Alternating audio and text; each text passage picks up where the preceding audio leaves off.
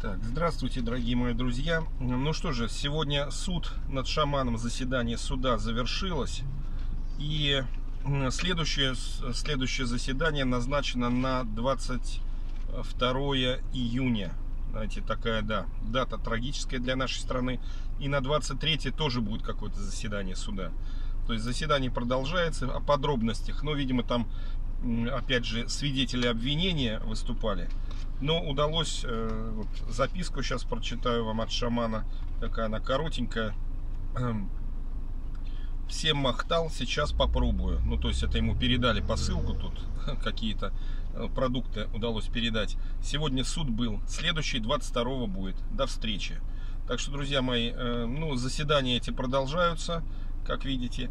Сейчас, ну, вот шаману дают прогулки то есть, э, то, ну и, и, наверное, жара стоит. То есть, все-таки разрешают какие-то прогулки. Пока телефон еще не дают ему, но, видите, хотя бы какие-то послабления есть. Будем надеяться, что, значит, следующее заседание, конечно, опять же, не принесет. Все, видите, тянут, тянут эти... Э, хотя ну, любому маломальски знающему юристу понятно, что в этом деле вообще ничего нету. То есть высосано не то, что из пальца, я даже не знаю из чего. То есть по, по этим фактам надо судить тех, кто значит, преследует шамана и судить действительно по самым жестким статьям.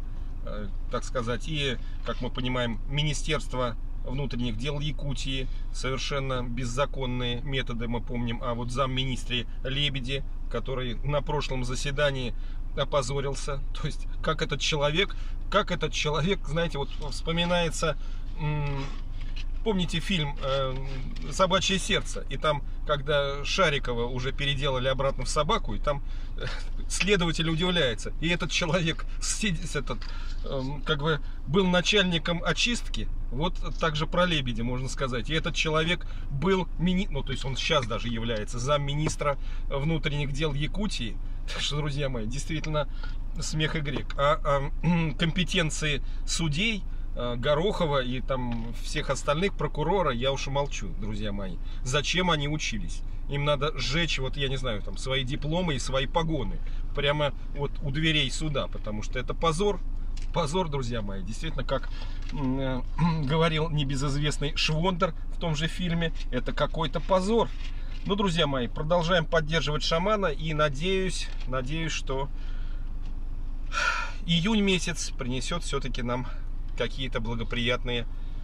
Э, с, э, ну все, друзья мои, давайте пока. Хотел вот вам быстренько рассказать об этом. До свидания.